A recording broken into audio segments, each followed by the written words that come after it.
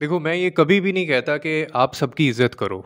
उसकी सबसे बड़ी वजह ये है कि हमारा सबसे बड़ा मसला ही ये है हमारे कल्चर के अंदर कि हम लोग लिहाज़ के चक्कर में बद-लिहाज़ और जो फजूल किस्म के रिश्ते होते हैं ना, हम उनको भी संभालने की कोशिश करते हैं अपनी ज़िंदगी में और फिर यही रिश्ते आपके साथ बद-लिहाज़ी भी करते हैं, आपको ज़लील भी करते हैं, आपकी सोच के ऊपर भी गलबा पाते हैं और आपको इमोशनल ब्लैकमेल भी करते हैं और टॉर्चर भी करते हैं आपको।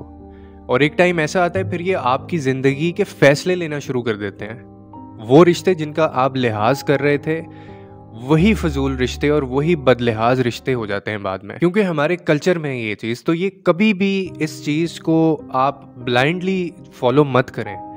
ये मैं बच्चों को ख़ास तौर पे कह रहा हूँ कि बहुत सारे बड़े आपकी ज़िंदगी में ऐसे आएँगे जो आप सिर्फ़ उनकी प्राइस से पे करेंगे कि जी ये बड़े हैं, ये इनका लिहाज करना है, इनका रिगार्ड करना है।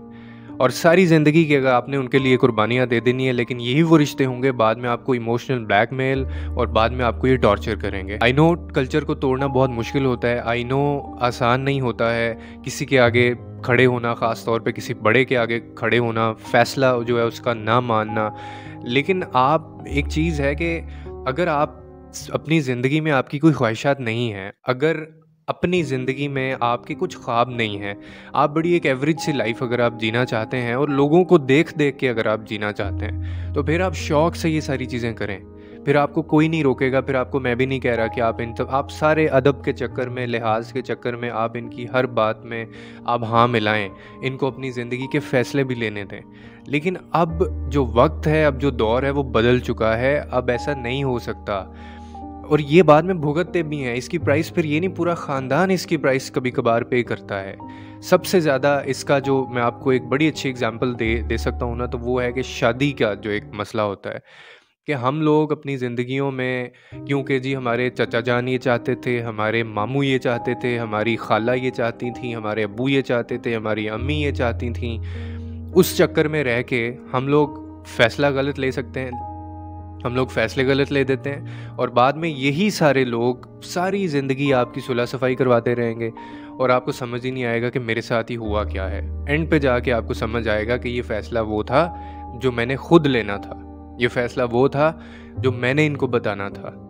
लेकिन कई दफ़ा तो पूछा भी खैर आपसे नहीं जाता हमारे तो ऐसे घराने भी हैं कुछ, माशाल्लाह, वो बच्ची से पूछते ही नहीं हैं, बच्चे से पूछते ही नहीं हैं, बस बताते हैं कि जी, फ़लानी जगह ये बंदा है, ये तारीख़ है और तुम्हारा रिश्ता तय हो गया इसके साथ। तो ये तो सीधा सीधा स्लाटर कर रहे हैं आप, माजरत के साथ, ये ये बिल्कुल उसी, ये बिल्कुल ऐसे ही है कि आप किसी भी, जैसे हम ये कुर्बानियाँ करते हैं ना, ये भी वही चीज़ है। तो कभी भी अपनी ज़िंदगी में हमेशा याद रखें कि ये रिगार्ड के चक्कर में, अदब के चक्कर में, लिहाज के चक्कर में इस चीज़ का ज़रूर जायज़ा ले लीजिएगा कि वो जो रिश्ता है, क्या वो आपकी इज़्ज़त करता है? क्या वो आपकी बदले में आपको देता है वो चीज़ें?